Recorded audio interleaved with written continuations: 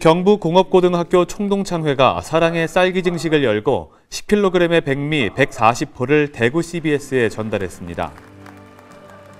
최덕구 총동창회 36대 회장은 이번 행사에서는 축하 화환을 받지 않고 쌀 기증금을 모아 선하고 영향력 많은 CBS에 전달하게 됐다며 동문들이 사회를 사랑하는 작은 마음이며 작은 한 알의 미랄로 쓰이길 바란다고 전했습니다.